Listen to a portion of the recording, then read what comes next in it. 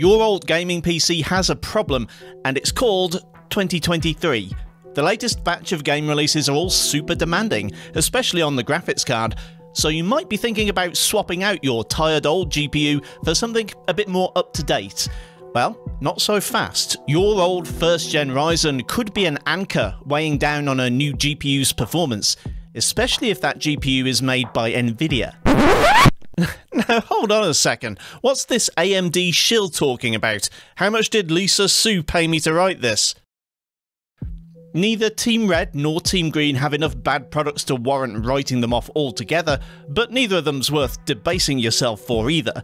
There are very few situations in which I say it's not wise to buy an Nvidia, but that doesn't mean there are none.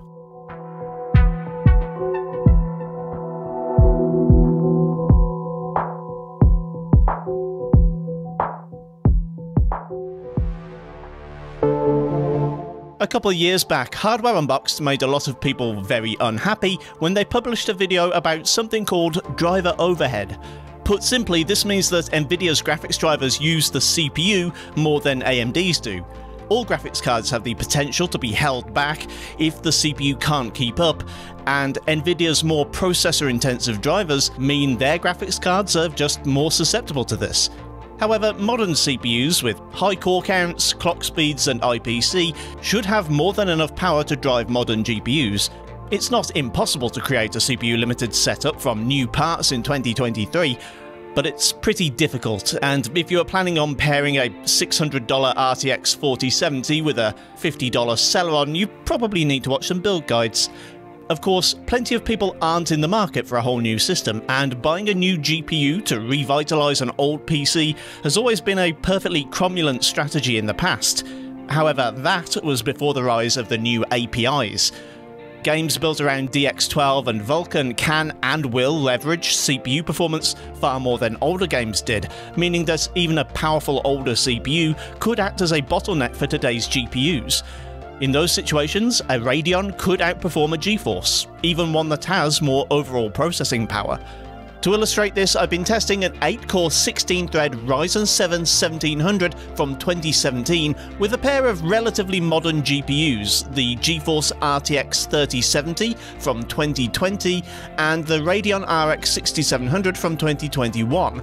In absolute terms, the GeForce is the higher end model, and when paired with a modern CPU, should deliver approximately 20 to 30% more FPS than the Radeon. The Ryzen 1700, however, is no spring chicken. It's lacking in clock speeds and per clock performance in comparison to even lower end chips in the 2020s, so we should expect to see both cards being limited by the CPU in non-RT rendering. To give the Ryzen the best chance I can, I've overclocked it to 3.8 GHz and installed 32 gigs of dual rank dual channel DDR4, clocked to 3000 CL15. This isn't an absolute best case scenario, but is as good as my particular CPU and RAM could get. When I tested the Ryzen 1700 for its own dedicated review, Spider-Man Remastered was running at about 85 FPS on average, using the RTX 3070 without ray tracing enabled. Absent any other context, you'd probably call that a playable enough frame rate, but more modern CPUs can drive the same graphics card to deliver more than 50% higher frame rates. So anything more powerful than a GTX 1660 Ti would probably be a waste. Switching over to the Radeon, the game can now run at 100 FPS on average without any other hardware or settings changes. The RX 6700 is still overkill at these settings, and you could pretty much disable the upscaling and get nearly the same frame rate. Neither GPU is operating at 100% still, but now the frame rates are virtually tied. Both GPUs are capable of significantly higher frame rates at these settings, but there's no getting around the CPU limitation this time.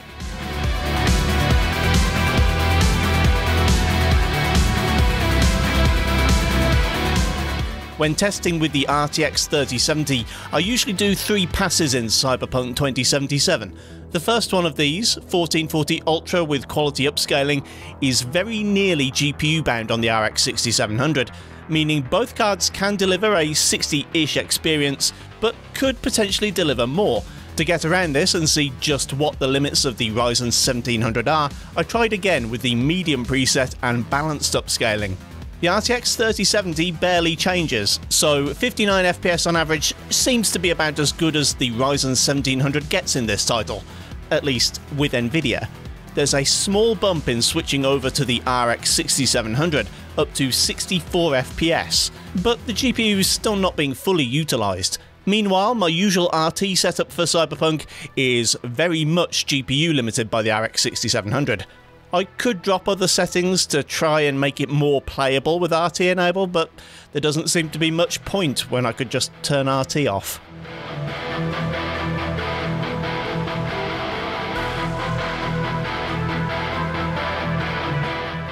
I suspect that Red Dead Redemption 2 just performs better on Intel than AMD. I've been looking at my CPU test results for the last few months lately, and it seems like a pretty consistent thread that the old Haswell and Broadwell E chips have better, more consistent frame rates than even modern Ryzen's. So it's entirely possible that someone running an i7 from 2017 could have a way better experience than the Ryzen 1700 here. Unfortunately, I don't have one anymore to confirm this, but I've still gathered some useful numbers. The RTX 3070 is stuck at below 60 FPS, making for an extremely disappointing time. Again, I'm pretty sure an older GTX card could probably give the same results as the RTX here. Meanwhile, the Radeon actually nearly ends up GPU limited. It jumps to 76 FPS on average, and while there's a fair amount of stutter, it's still a much better result than the GeForce gave.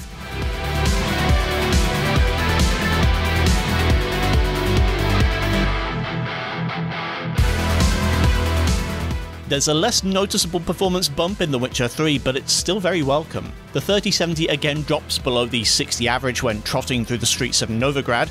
The Radeon does manage to creep over the 60 average, more than 10% higher than the Nvidia card managed at the same settings.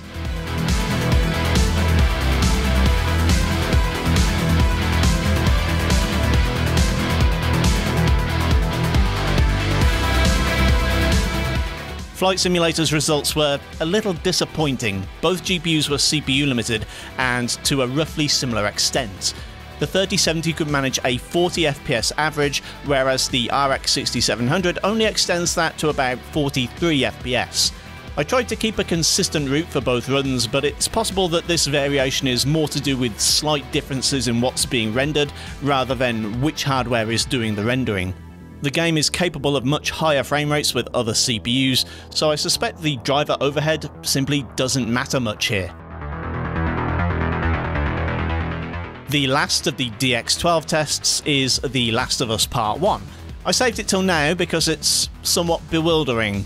Whereas the RTX 3070 was being held back by the CPU, it was at least making an effort and could produce a playable enough 60 FPS. The Radeon was so underused it felt like it was dropping into a low power state. Even manually bumping up the minimum clock speeds and power limit in the Radeon driver software had no effect, and the game averaged just 40 FPS. Could this be a bug? Quite probably yes. TLOU's PC port is rather notorious for being badly optimized, and until recently was reserving 20% of VRAM for the operating system, so it clearly wasn't ever optimized for running on older systems. Next, I want to look at a couple of counterexamples. Both the RTX 3070 and RX 6700 are being limited to about 230 FPS in Valorant, a DirectX 11 powered esports title that can reach much higher frame rates on newer CPUs. Of course, it's faintly ridiculous to be complaining about results in excess of most monitor refresh rates, but it's all about perspective. An overclocked i5 from 2014 can do better.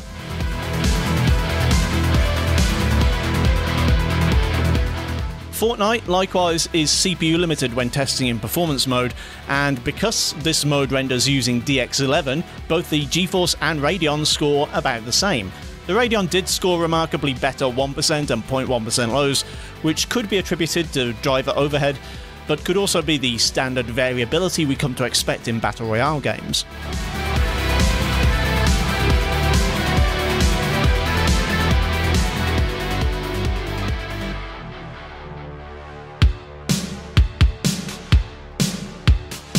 Overall, then, it's possible for a first gen Ryzen like the Ryzen 1700 to see between a 5 and 35% increase in performance by pairing it with an AMD Radeon rather than an Nvidia GeForce.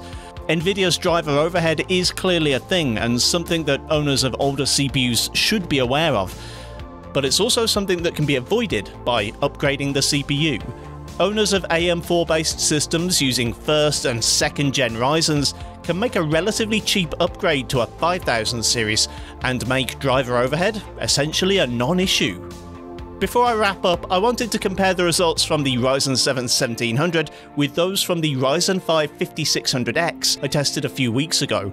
This CPU is a 6-core 12-thread Zen 3 model with a larger 32MB L3 cache, a clock speed of up to 4.65 GHz, and is paired with RAM that is well, it's it's the same stuff, but the 5600X can run it at 3600 CL16 without any fuss.